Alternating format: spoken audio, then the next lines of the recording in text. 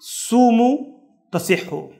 یہ روایت معروف ہے یعنی کہ تم روزہ رکھو صحت مند اور تندرست ہو جاؤ گے۔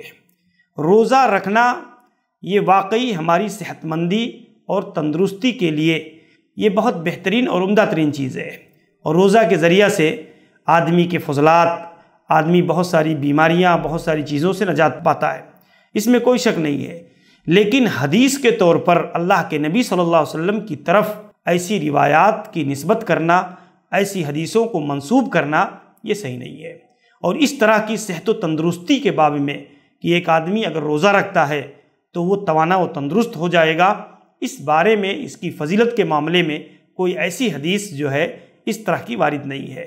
یہ روایت علامہ عراقی رحمہ اللہ نے، اسی طریقے سے امام المناوی رحمہ اللہ، علامہ وقیلی اور شیخ البانی رحمہ اللہ نے ضعیف کہا ہے۔